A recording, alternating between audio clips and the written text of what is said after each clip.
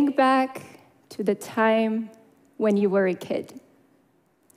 What was the most joyful, carefree, and happy space? For me, it was my childhood home. I understand it now, but when I was a kid, I couldn't care less. I was born in a family of a sea captain. My father operated one of the biggest sales boats in the world, inviting my mom and me to join whatever he could.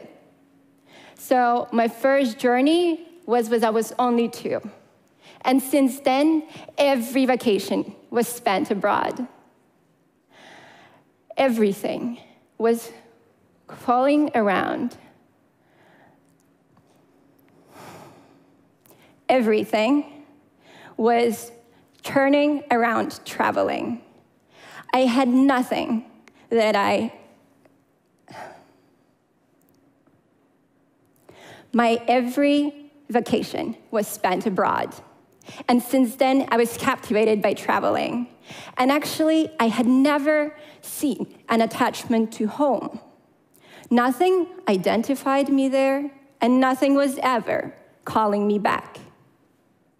But funny enough, our homes are the ones that we are attached to the most.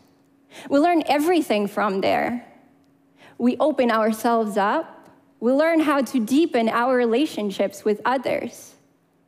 Our childhood homes are the ones that we take for granted, but still are loved and cared for the most.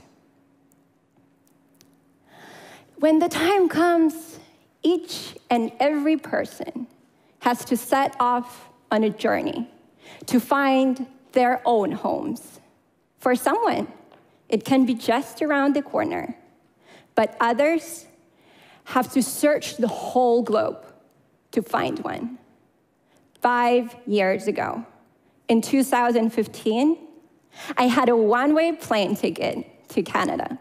I was filled with excitement. I ran up the ramp, buckled up in my seat, and started a friendly chat with a man beside me. During our conversation, he asked me, So, um, where's your home once again? Where is home? Such a simple question, isn't it? But deep down, I was terrified that now I had nothing to answer.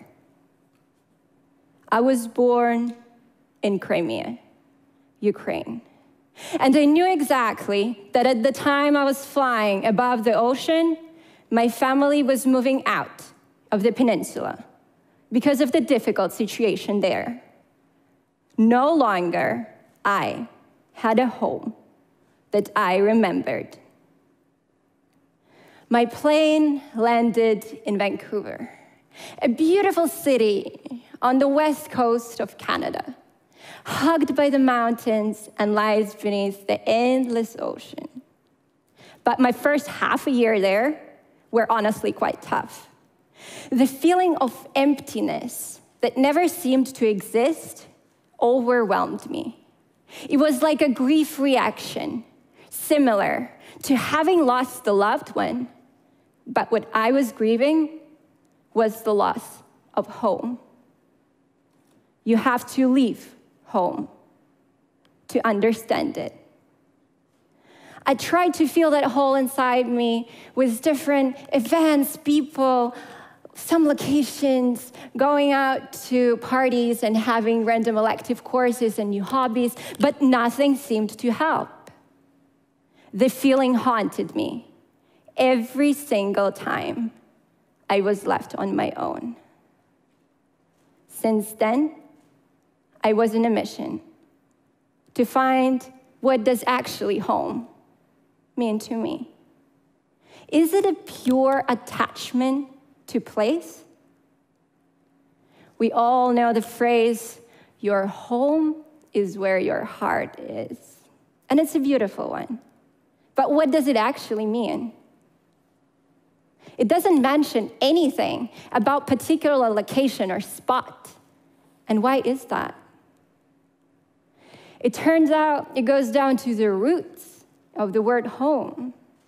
From an Old English, it means the space where the souls gather. So, at its very core, it's not just about where your heart is, but also the hearts of others you love and trust.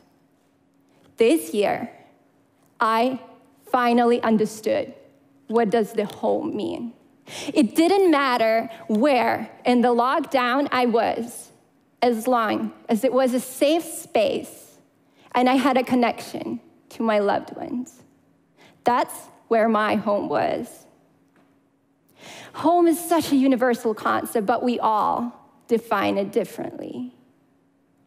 Where do you feel the most at home? Are you happy with your secret space? If you are the lucky one and you have it, cherish it, as it will be your safe harbor wherever you go. And if you're still on the way to find it, or you lost one, don't worry, you'll get there. It just takes time. For me, it took 15 moves, four countries, and one pandemic to realize home is where your heart is understood.